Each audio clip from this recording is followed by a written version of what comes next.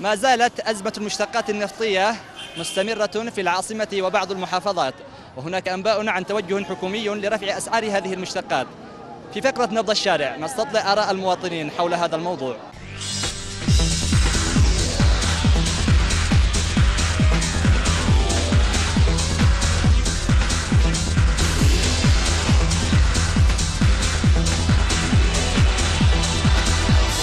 يوضحوا للشعب اي من ال- من المسؤول على الموضوع هذا ومن المتسبب ومن ال... مش أنا اللي اوضح الأمور هذه كل متسبب في هذا الأزمة. المواطنين جزء من الأزمة. والله أنا برأيي الحكومة نفسه وشركة النفط. والله هي رسالتنا إلى وزير النفط ووزير هذا عليهم توفير المشتقات النفطية لأنهم رجعوا يفتحوا الأسواق السوداء الدبه من خمسة من ستة. هم أخبار بكل حاجة.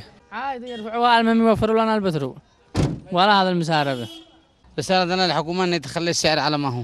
لا ترفع وت- وترحم المواطن. الحكومة تعزل من البلاد. والله نقول للحكومة حكنا إنه إذا رفعوا بيشوفوا من الشعب شيء مش مش عاجبهم. لأنه الشعب مخنوق أكثر من من ما هو متوقع. السعر النفط إذا ارتفع مع لا نشي باي خرج بأي شيء. ولا يخرجنا بأي حاجة. والله هذه مشكلة كبيرة على اليمنيين. ولا في لا رفع آه، أسعار نفط ولا في أي حاجة. وكلها هذا ناس بيفعلوا ضجة علشان إيش؟ مثل ما تشوف هي القاهرة. تكون كارثة على البلاد.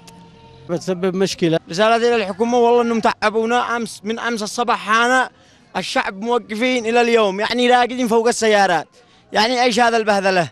وين البترول؟ وين النفط؟ وين الحكومة؟ بيتقطعوا لهن. وين الدولة؟ ليش ما المواد هذه بيتقطعوا لهن. إذا كان يريدون سعر النفط فليرحلوا يوفروا يوفروا كل شيء ويتقوا الله في الشعب هذا. الله يقول لك سعر هذا يقتل لك ميت. كده ما ما عجز يفعل لأنه إذا رفع الرفعة هذه على دمار البلاد مش على أقول لك.